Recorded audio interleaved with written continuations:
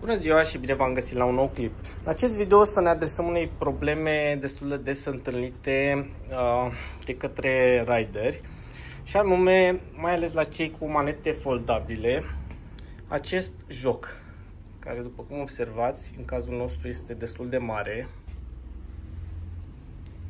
Da? Este un joc destul de mare.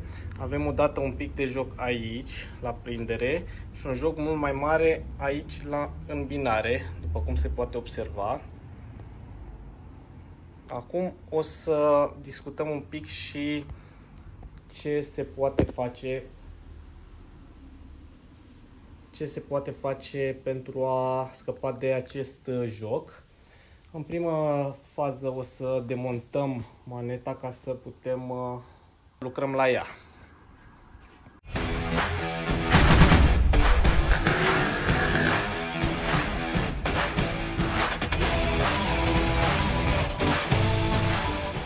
Scoate prima oară din suport.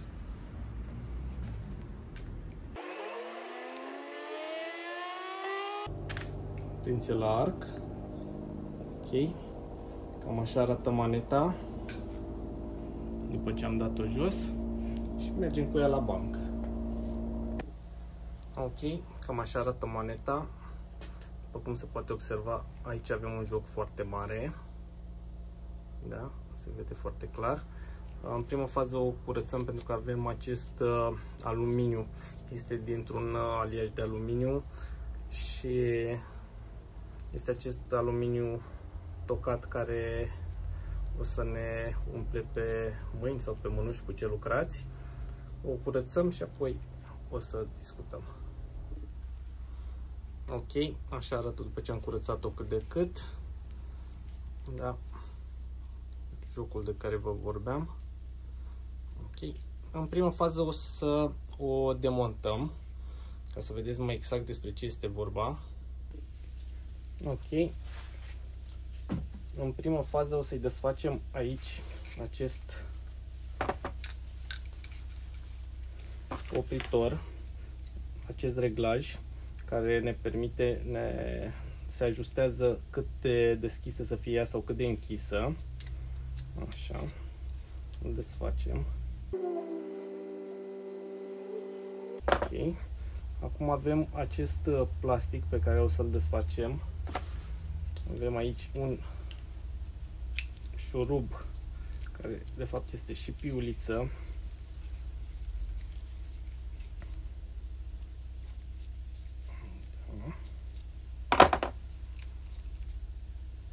Okay. Așa desfacem acest plastic. Este peste arc.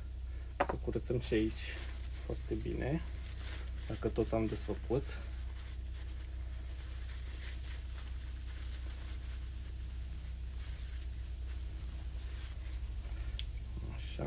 Scoatem șurubul acesta de tot.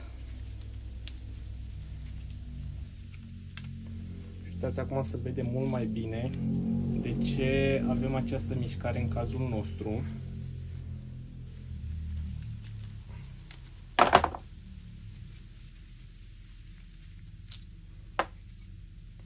Da? Este din cauza acestei urechi, care după cum se observă este strâmbă în cazul nostru. Acum, asta este cel mai uh, des uh, întâlnit uh, Asta este cea mai des întâlnită cauză și anume o ureche strâmbă din cauza mai multor căzături. Se mai poate întâmpla ca să aveți uzură. În cazul nostru, fiind strâmbă, o să o îndreptăm. În cazul în care era vorba de uzură, ce puteți face? Uh, trebuie să nivelați pentru că uzura nu o să fie uniformă, o să fie exact cum este și această manetă la noi strâmbă, o să fie într-o parte uzura. Uh, dumneavoastră trebuie să, cu o pilă, să nivelați uzura să fie dreaptă, iar apoi băgați o șaibă distanțier aici, șaibă de cupru sau de, de cupru, că e greu să găsești alt material. În cazul în care nu aveți, puteți să luați o doză de Uh, suc care este din uh, aluminiu și să o folosiți aici pe post de distanțier ca să nu mai aveți uzură. În cazul nostru o să încercăm să o îndreptăm. Mare atenție iarăși, dacă vreți să îndreptați. Acesta este un aliaj, după cum am spus, de aluminiu și în cazul în care este înghețat sau este prea frig, aveți șanse mari să crape. Cel mai și cel mai bine ar fi să-l încălziți în prealabil ca să fiți sigur că nu va crăpa. Ok, am fixat-o în menghină. O să punem levierul aici pe post de distanțier și o să strângem ușor.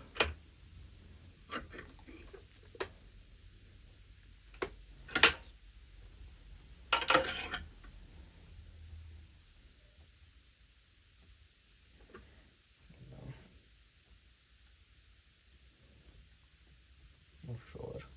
O ținem puțin aici în tensiune, pentru că el fiind un material destul de elastic, o să aibă tendința să, să revină la forma de mai devreme.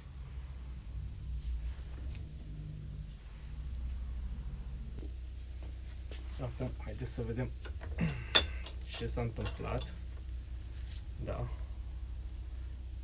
Cum observați, nu mai avem joc aproape deloc. Da, este în regulă. În cazul în care uh, nu reușiți din prima, puteți să mai faceți o chestie, să găsiți ceva pe o dimensiune un pic mai mică decât uh, levierul deci foarte puțin mai mică, ca să puteți să o presați mai mult, în cazul nostru s-a presat suficient, chiar este, intră destul de fest. Da. Ok. Și acum nu avem decât să reansamblăm uh, maneta. Ansamblare să face în ordine inversă. O mai curățăm puțin și imediat vă arăt. Un lucru ce am uitat să vă specific deci l-am făcut, uh, merge foarte bine. După cum observați, chiar intră destul de fest. Da, nu mai avem joc. Dar ce am uitat eu să vă, să vă specific, uh, în cazul meu este vorba despre o motocicletă de off-road și nu mă interesează foarte tare zgrieturile și uh, uitați, s-a zgriat în, uh, în menghină. N-am fost uh, foarte atent pentru că v-am spus nu mă interesează acest aspect. Este o motocicletă de pădure care oricum cade și se zgârie și nu, chiar nu mă interesează aspectul acesta.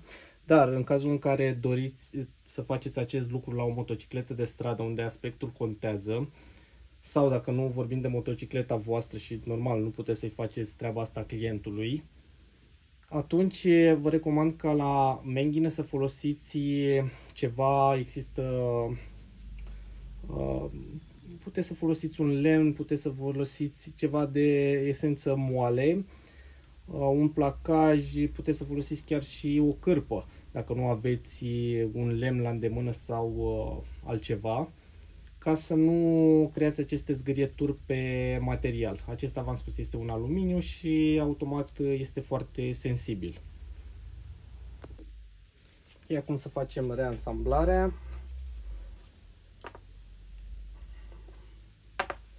Avem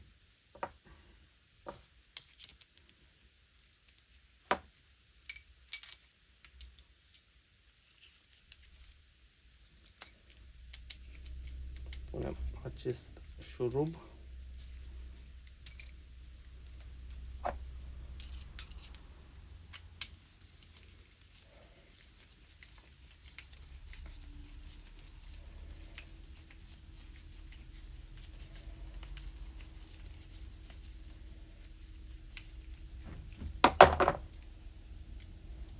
Așa.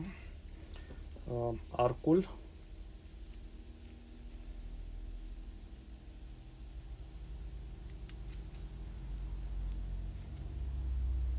Așa. Plasticul acesta care ține are rol de protecție pentru arc și îl ține să nu sară. Așa. Putem să prindem asta pe partea cealaltă ca să ne fie mai ușor. Acestea nu trebuie strânse foarte tare. Uitați că e vorba de componente de aluminiu care dați seama că nu este foarte rezistent. Așa, acum punem și distanțierul.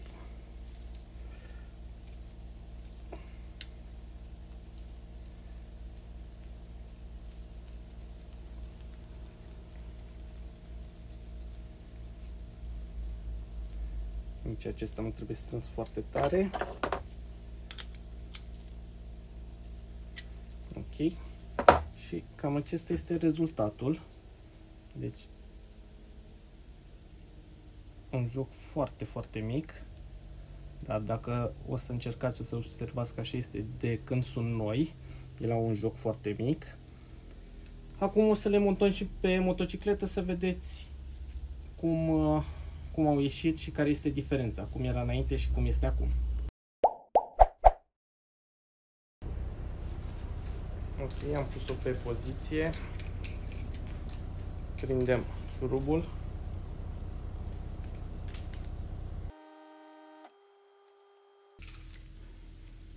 Piulița. La fel, nu trebuie strâns foarte tare. Da, funcționează. Și uitați jocul. Mai avem, după cum observați, mai avem un pic de joc aici în uh, pompă, dar în cazul nostru, fiind și o motocicletă de teren, este ceva acceptabil și momentan îl lăsăm. Dar pe viitor, v-am spus, se pilește un pic aici ca să-l aducem la drept și apoi punem un distanțier aici, între manetă și buza de la pompă. Ok, aici avem un exemplu de presă folosită ca să apropiem uh, aici urechea de la pompă. Deci am băgat un distanțier ca să știm cât apropiem. Da, uitați. Bine, aceasta este o improvizație, este normal, ea este o presă de pivoți, dar uh, nu contează. Ideea este să apropiem cele două urechi. Le-am apropiat, acum le lăsăm puțin, cum v-am spus, să rămână pe poziție ca să nu revină și apoi probăm cu maneta. Cam asta a fost. Vă mulțumim pentru vizionare. Nu uitați like și abonare la canalul nostru. Și dacă mai aveți ceva întrebări, sugestii, ce mai doriți să mai acoperim în clipurile noastre, vă așteptăm în secțiunea de comentarii.